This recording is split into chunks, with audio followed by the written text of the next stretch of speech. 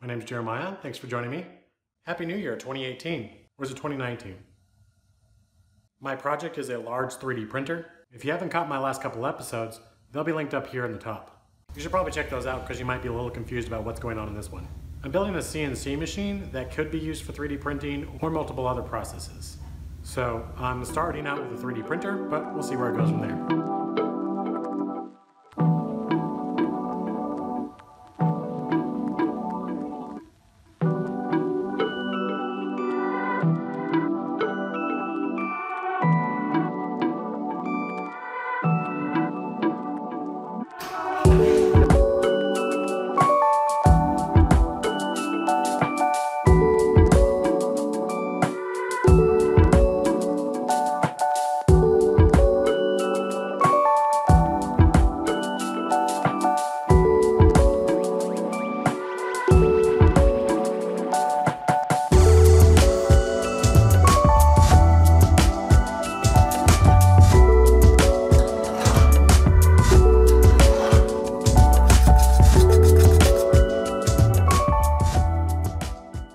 The idea behind the connection here is I want it to be strong enough to handle the connection between these two parts uh, and not break before the motor gives out.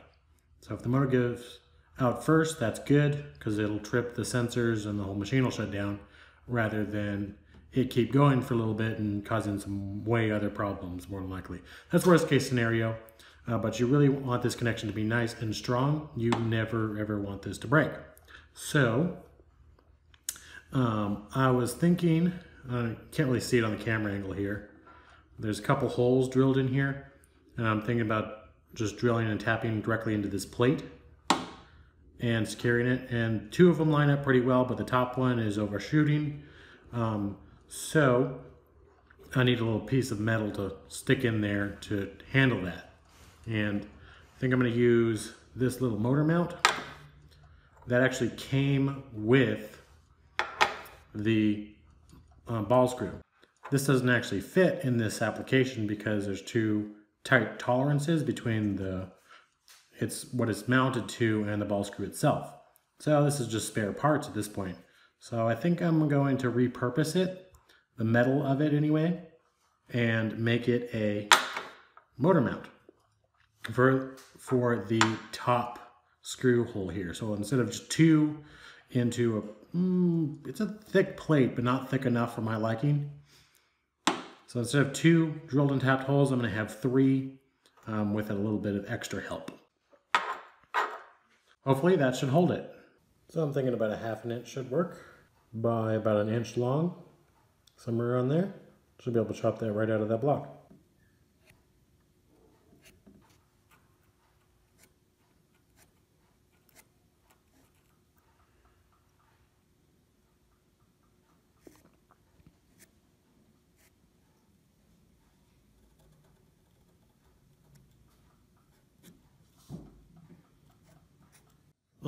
Take one from This Old Tony's playbook and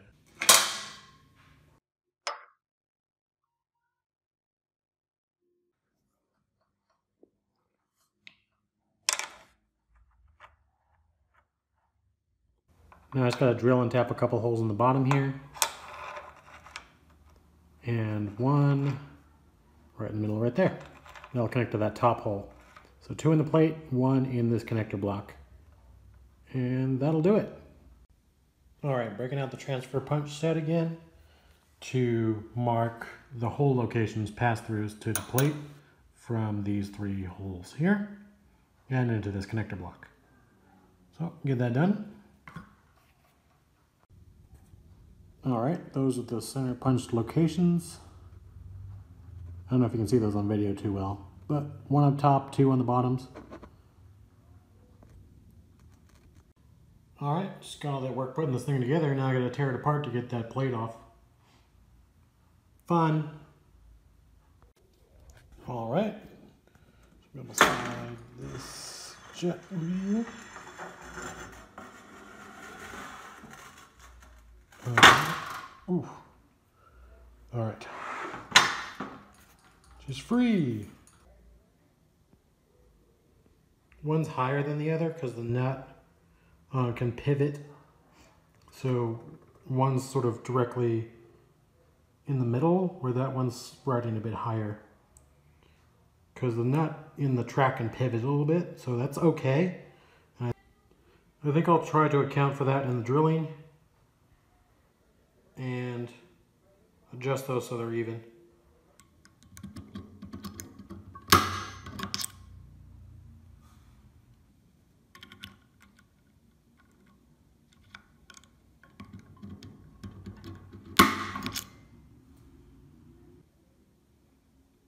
Center punch. You should get one if you don't have one.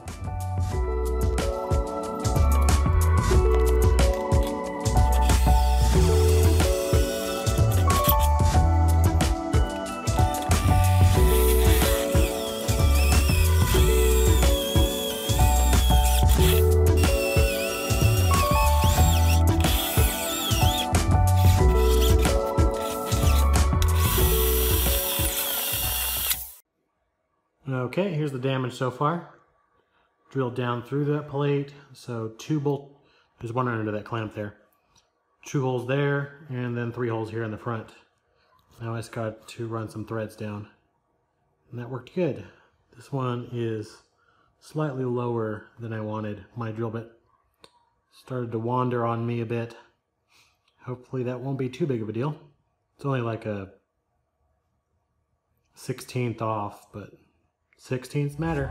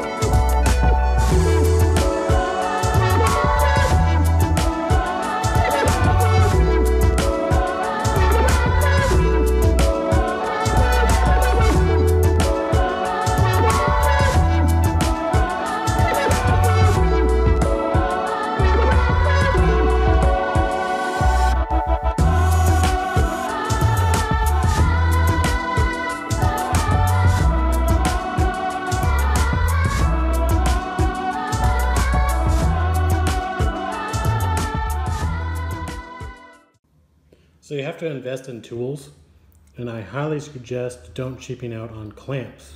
Get them in all sizes and good quality ones, okay? You never have too many clamps. Any fabrication guy will tell you that, and I'm no different. Clamps, buy them in bulk. I get most of mine at yard sales, garage sales, online, and like bulk tool sales.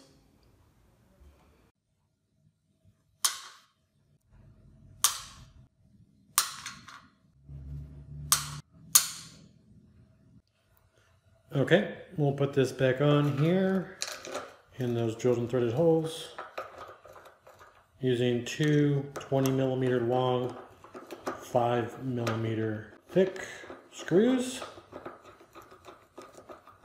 Is it screwing or is it just, oh there it goes. Okay. All right, one down. Drop it on the ground, that's great. No, I won't edit that out.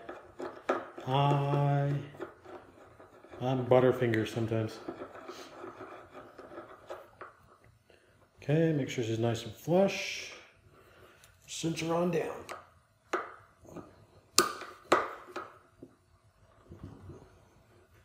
Um, not going to do it now, but later on, I'm trying to make sure that's it's sticking out a little bit. So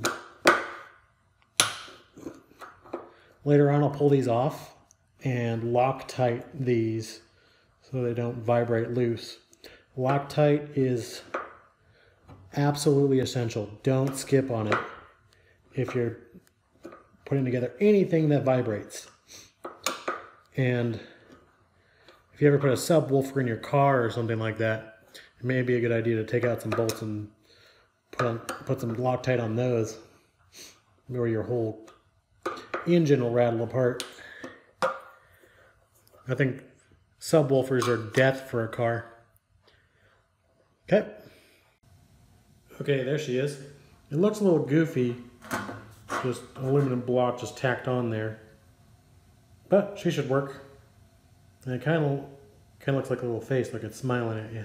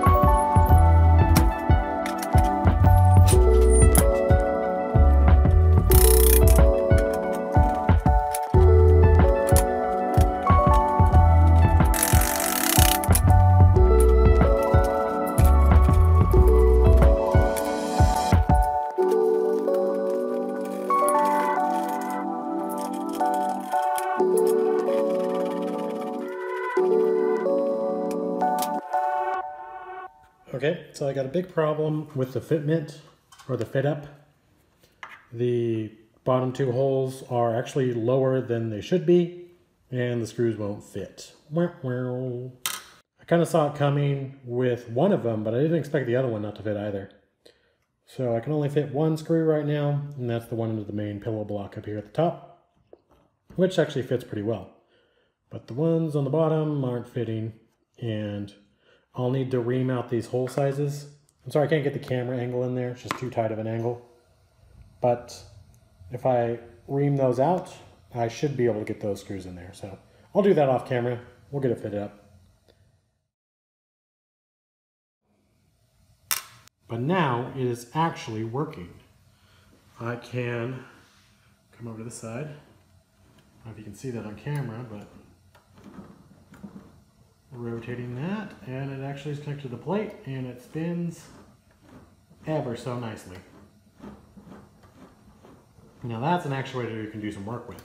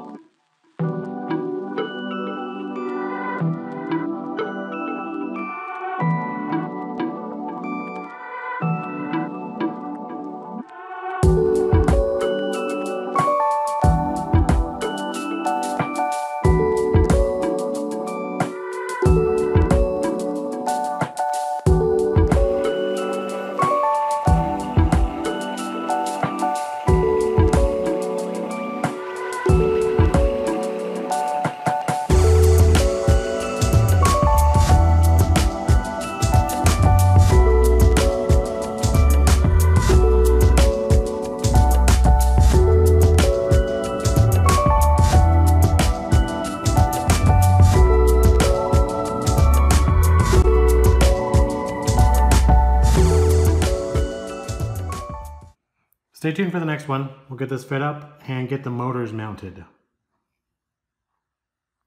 Okay, Google. Turn off the work lights, please. You got it. Turning two lights off.